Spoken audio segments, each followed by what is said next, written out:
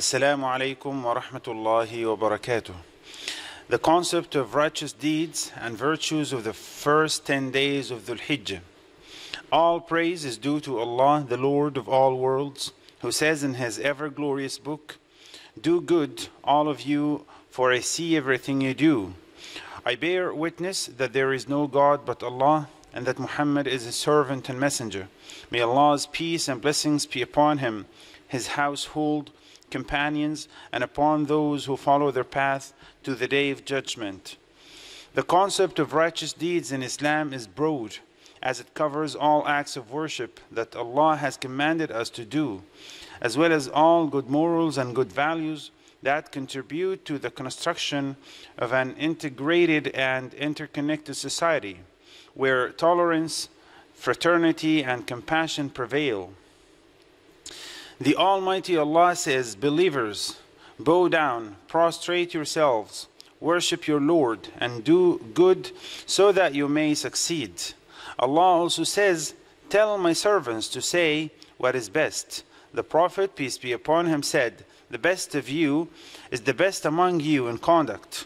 The Prophet, peace be upon him, also said, The doors to goodness are plenty, including the glorification of Allah, praising Him, saying, Allah is great, saying that there is no God deserving to be worshipped but Allah, enjoining good, forbidding evil, removing harm from the road, conveying the message of death, guiding the blind, helping people with their needs, exerting your utmost with those in dire need, and giving aid to the weak as much as you can.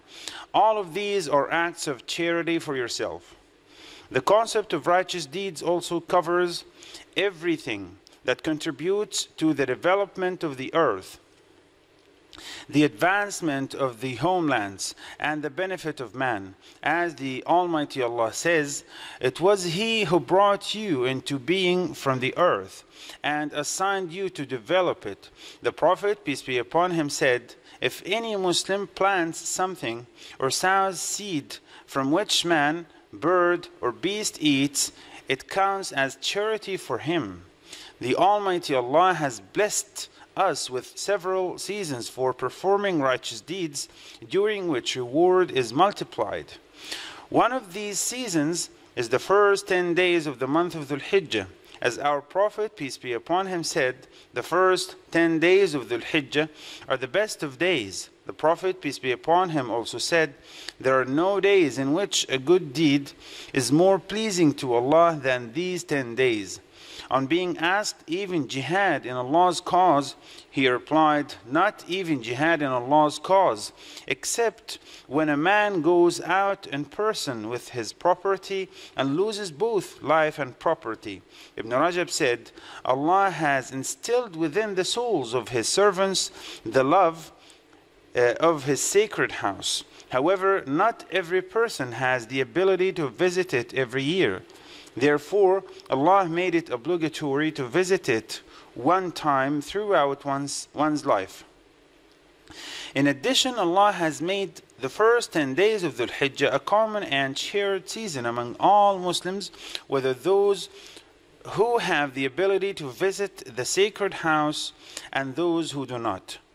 The first 10 days of the Hijjah are the days within which it is de desirable to make much remembrance of Allah, as the Almighty Allah said, so that they celebrate Allah's name on specified days over the livestock He has provided for them.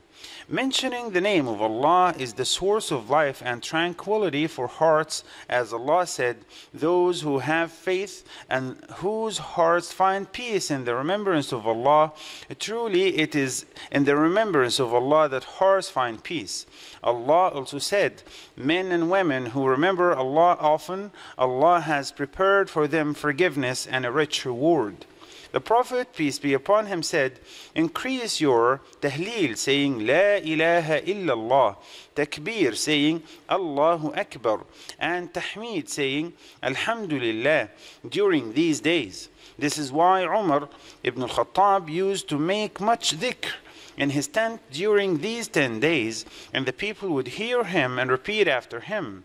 Also, Abdullah ibn Umar used to make dhikr in these days in all his cases, either after the prayers and while sitting, walking, or reclining.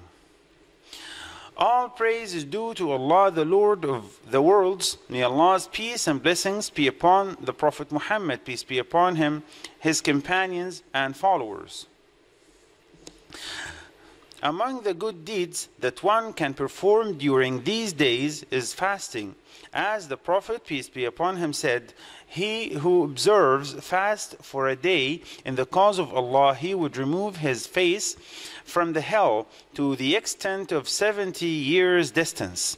The Prophet, peace be upon him, also said, He who observes fasting for a day in the cause of Allah, Allah will keep his face from hell fire at a distance equivalent to that between heaven and the earth.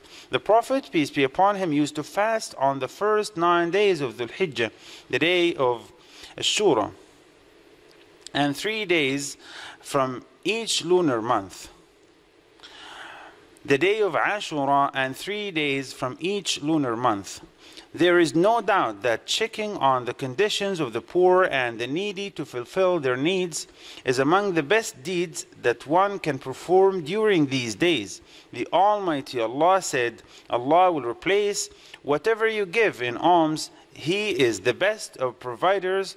Allah also said, Those who give out of their own possessions by night and by day, in private and in public, will have their reward with their Lord. No fear for them, nor will they grieve. The Prophet, peace be upon him, said, The most beloved people to Allah are those who are most beneficial to people.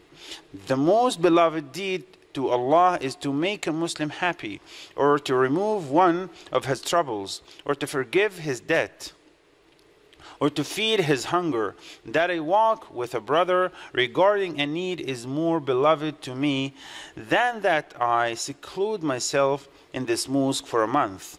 O Lord, accept our good deeds and guide us to all that you love and are pleased with.